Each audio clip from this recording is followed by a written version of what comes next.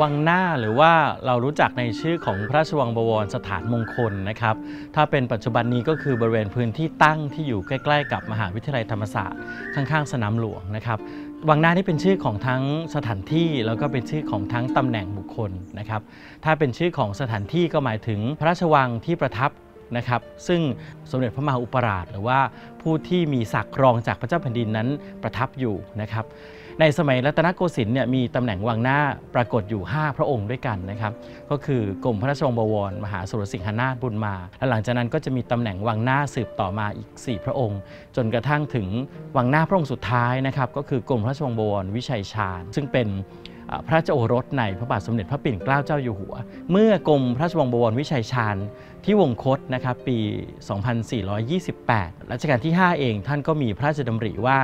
ตำแหน่งวังหน้านี้น่าจะเป็นตำแหน่งที่สมควรยกเลิกได้นะเพราะว่าเป็นตำแหน่งที่ชาวต่างประเทศไม่รู้จักกันแล้วนะครับ ก็เลยโปรดให้สถาปนาตำแหน่งมกุฎราชกุมารขึ้นมาแทนตำแหน่งวังหน้า เพราะฉะนั้นนับตั้งแต่ 2428 เป็นต้นมาเนี่ยเราก็ไม่มีตำแหน่งวังหน้าอีกต่อไป แต่ว่าตัวสถานที่วังหน้านะครับแล้วก็ชื่อของกรมพระราชวังบวรสถานมงคล หรือว่าวังหน้านั้นเนี่ยก็ยังปรากฏอยู่ในประวัติศาสตร์ไทยนะครับ เช่น พระองค์ที่สำคัญในสมัยรัชกาลที่ 3 ก็คือกรมพระราชวังบวร มหาศักดิพลเสพหรือว่าพระองค์เจ้าอารุโนไทยทรงเป็นวังหน้าอีกหนึ่งพระองค์ที่ได้มีบทบาทในเรื่องของการรบทัพจับศึกนะครับแล้วก็มีบทบาทในเรื่องของการบำรุงศิลปะวัฒนธรรม แล้วก็ทำให้วังหน้า ซึ่งปัจจุบันนี้ก็คือส่วนหนึ่งของพิพิธภัณฑ์พระนครเนี่ยนะครับมีอาคารสถานที่ต่างๆ ที่ล้วนแล้วแต่สร้างขึ้นในรัชกาลของพระองค์นะครับ